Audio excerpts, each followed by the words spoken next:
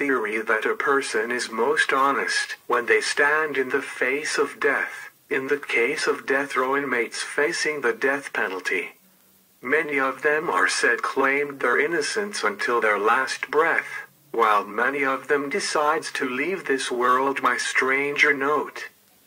Here is five shocking last words by death row inmates. Gary Gilmore.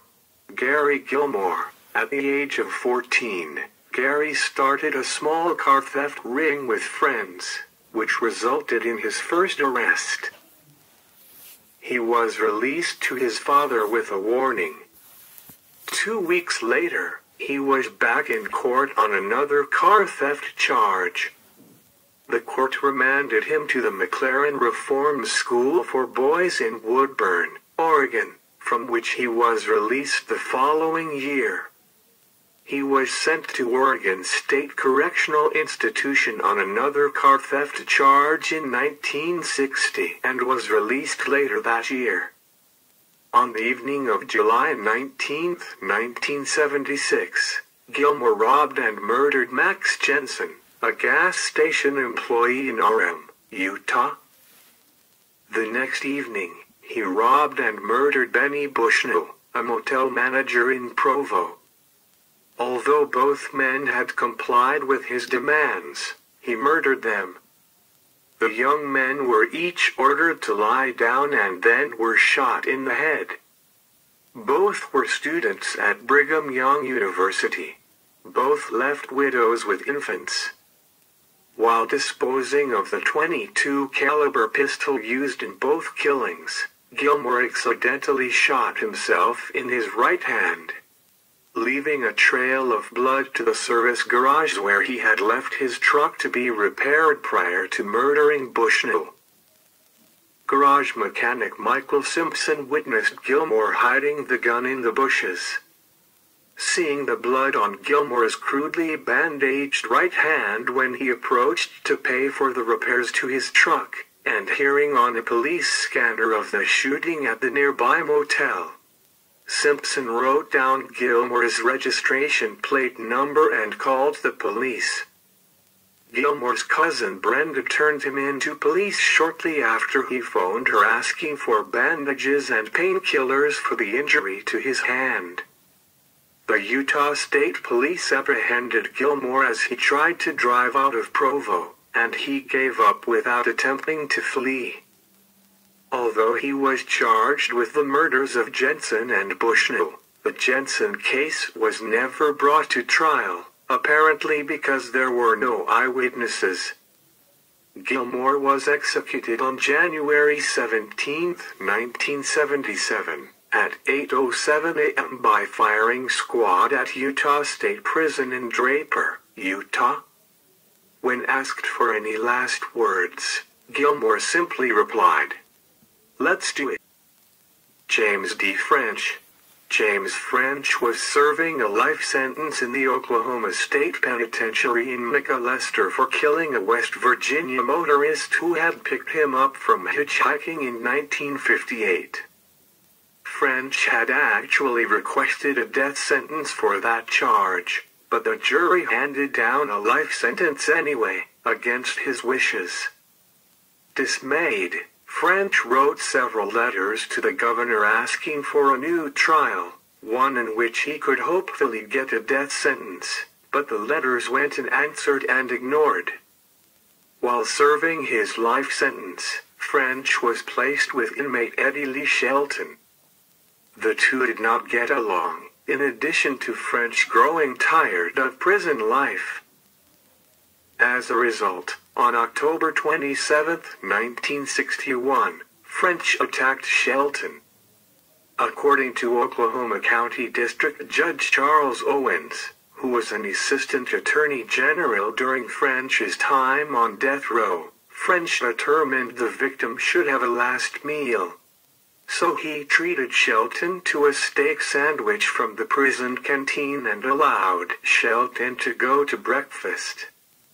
Upon Shelton's return from breakfast, French wrapped a towel around Shelton's neck and used it to strangle Shelton to death. French was fully aware of the consequences for his actions, making an immediate voluntary confession and explaining that he murdered Shelton because Shelton was stupid and refused to shape up. When he went to trial for Shelton's murder, French asked the judge to sentence him to death and deny all future appeals, because he wished to die in the electric chair. And he explained that he committed the murder to compel the state of Oklahoma to execute him. The judge obliged his request.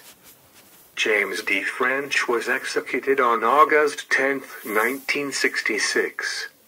At the time of French's execution, the death penalty was at a near standstill nationwide as a result of changing sentiments towards the death penalty.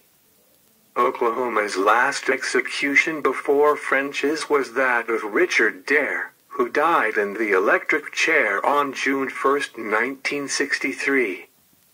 Dare was executed for murdering his father-in-law and notably spent 717 days awaiting execution after his death sentence, which was unusually long for the time. Dare was executed only after a protracted legal struggle.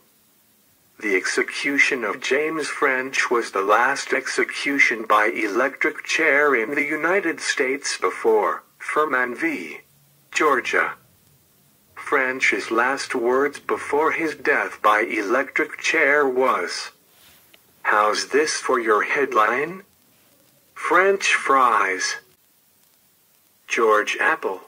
George Appel, in December 1927, Appel was committing a holdup in a New York City restaurant when the police arrived. He shot Police Lieutenant Charles J. Kemmer, who died of his injury. Strangely, Appel claimed he was innocent of that murder, but in July 1928, a month before his execution, he signed a sworn confession to a November 1927 murder for which another man had been convicted. Daniel J. Graham, ironically, a former police officer, had been hired to guard a construction company's paymaster, Judson H. Pratt. In the 1920s, payrolls were always cash, no checks. Pratt was killed and the $4,700 he'd been carrying was missing. Graham was arrested soon after. He had no explanation for why he hadn't been guarding Graham and no alibi for his whereabouts so he was eventually convicted of murdering Pratt. Appel and Graham were set to be executed on the same day. George Appel, convicted of murder, George was executed by electric chair on August 9, 1928. Appel's last words were, Gentlemen, you are about to see a baked apple.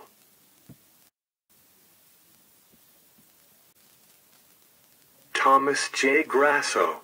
Thomas J. Grasso was a convicted murderer who strangled Hilda Johnson, an 87-year-old woman, using her Christmas tree lights on December 24, 1990, in her Tulsa home. He stole $8 from her purse, $4 in loose change, and her television set which he sold for $125. Six months later, after moving to New York with his wife, Lana, he murdered Leslie Holtz, an 81-year-old man from Staten Island, on July 4, 1991, stealing his Social Security check. He was executed by lethal injection at Oklahoma State Penitentiary, McAlester, Oklahoma, United States, on March 20, 1995. On the day before his execution, Grasso released four statements to the press. The first, at 3 p.m., read, What we call the beginning is often the end, and to make an end is to make a beginning. The end is where we start from. The second, released at 8.25 p.m., read, For most of us, There is only the unattended moment, the moment in and out of time.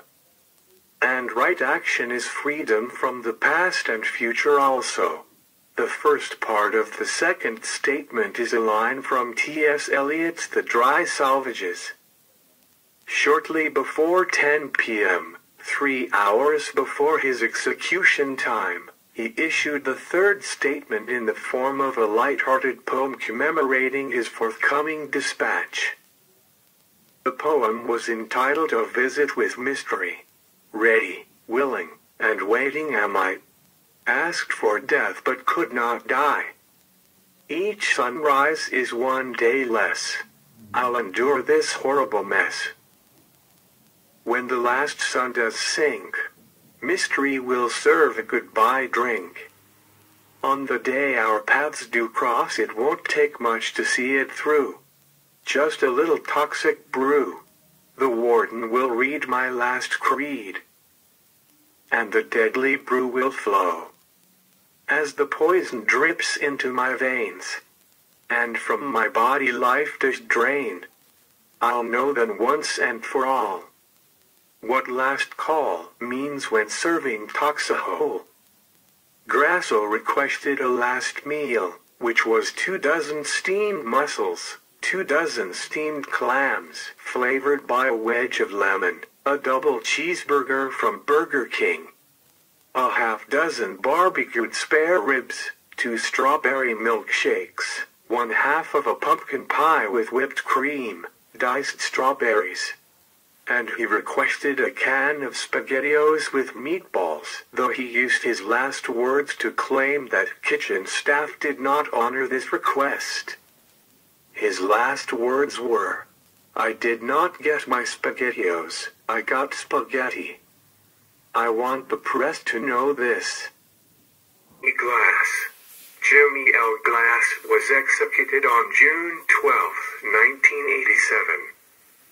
Glass was convicted of shooting to death Newton and Earline Brown while burglarizing their Dixie Inn home on Christmas Day, 1982. Glass and Jimmy Wingo had escaped from the Webster Parish jail the day before. Glass claimed that Wingo forced him at gunpoint to kill the Browns. Glass made the headlines in 1985 as a petitioner in a Supreme Court case. He argued that executions by electrocution are violating the 8th and 14th Amendments to the United States Constitution as cruel and unusual punishment. But the court found that electrocution as an authorized method of executions is constitutional. According to then Louisiana's law, the only authorized method of execution was the electric chair.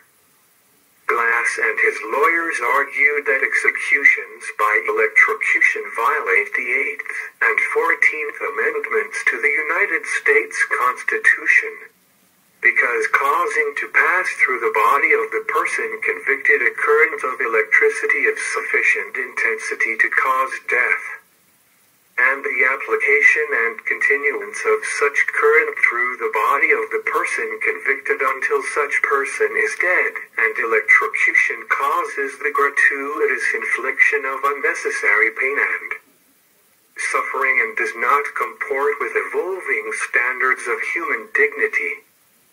Glass's last words were, I'd rather be fishing. Thank you for watching.